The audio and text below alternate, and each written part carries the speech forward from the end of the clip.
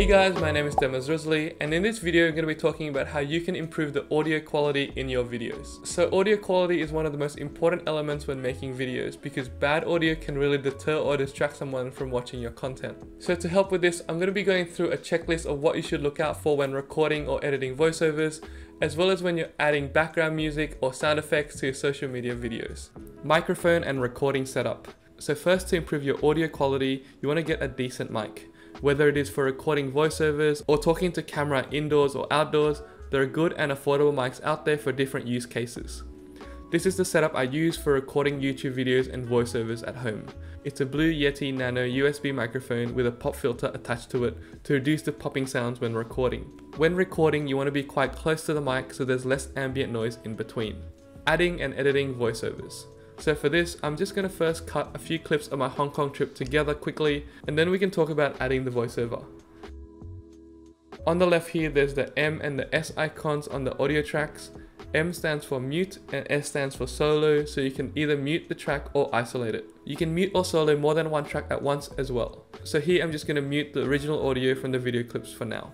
Alright, so now I've got my basic timeline. Next you want to set up the gain on your mic. This can either be done on the mic itself if there's a knob, or in the settings on the computer. For the mic I'm currently using, I need to go down to sound settings here on the bottom right, then choose your mic and then device properties under the input section. I usually go for around 85 to 90 so that the audio doesn't peak.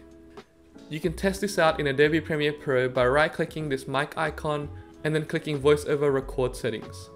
Change the mic to your own mic and then see how the bars are moving when you're talking. You want it to be around minus 6 maximum, meaning the loudest you're going to speak at, so adjust the gain accordingly. Alright, so now let's record some audio. I've written up a bit of a script, so let's try this out. So this is me exploring Hong Kong. I'm always drawn towards urban environments and the incredibly dense city of Hong Kong fuels my passion for discovering new places and capturing architecture. The overall volume sounds okay to me because we previously already adjusted the gain. If for example the audio was too soft or too loud, you can adjust the gain after the fact in Adobe Premiere Pro by right clicking the audio track and then clicking audio gain. When this menu appears, you can set the gain to a high number or a low number or try the other options as well. First, let's just try 5 and see how that sounds. So this is me exploring Hong Kong. I'm always drawn towards urban environments and the incredibly dense city of Hong Kong fuels my passion for discovering new places and capturing architecture. That's definitely too loud and the audio is peaking as you can see from the meter here on the right. As I said before, you want to be around minus 6 maximum on this meter. So let's just put it back to where it was.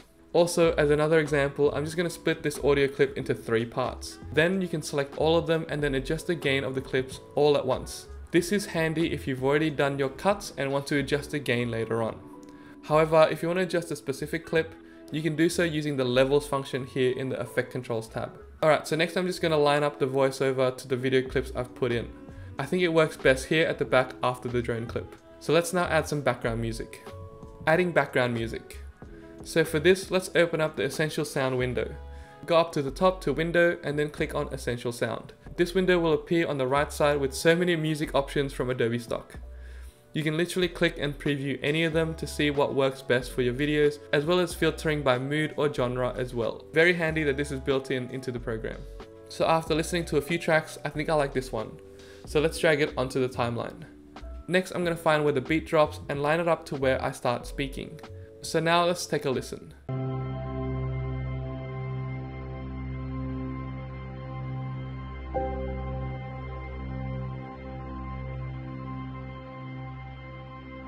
So this is me exploring Hong Kong. I'm always drawn towards urban environments and the incredibly dense city of Hong Kong fuels my passion for discovering new places and capturing architecture. You can see that the audio is now too loud and peaking towards the end when I'm speaking, so let's see if we can make the background music quieter when the talking starts. So if you click on the audio clip for this song, this edit menu will appear on the essential sound panel. Next you want to turn on ducking. Click dialogue and then click generate keyframes. The AI will try to automatically find where the dialogue is and make it quieter. Let's see how it did.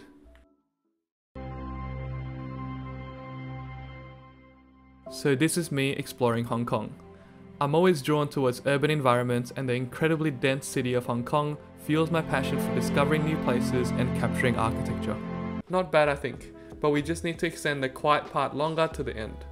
So click this drop down menu in the effect controls panel and then select these two keyframes and drag them all the way to the end. Finally, I might just drop the gain a little bit on the voiceover to make the audio less loud overall at the end. And there you go. Here's what we just made.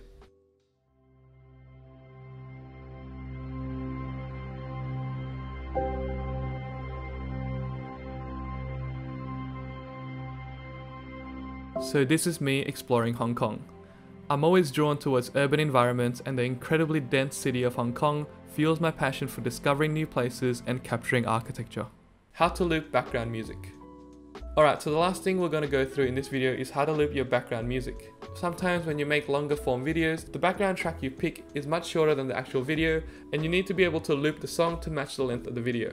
So first, I'm just going to pick a song from the Essential Sounds panel so I can show you how to loop the music. Alright, so I've picked this song, so now we just have to listen for any repeatable beats or rhythms. Maybe let's try here. So make a cut at this point and then duplicate the clip by dragging and holding onto the Alt or Option key. And let's try to find the matching point towards the beginning of the song. Let's try here and cut it. And now let's have a listen.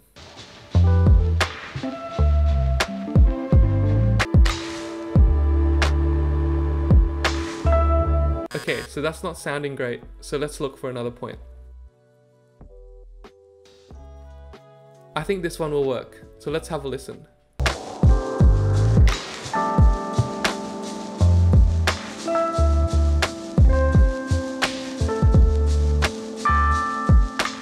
There we go, it now loops seamlessly. You can then just find the same point at the end of the second clip, cut it again, and then you will have an endless track. Alright, I hope you enjoyed this tutorial and can now sweeten your audio quality in your videos for social media. Make sure to check out the rest of the videos in this Premiere Pro for social media series and come say hello on my social channels too. See you in the next video.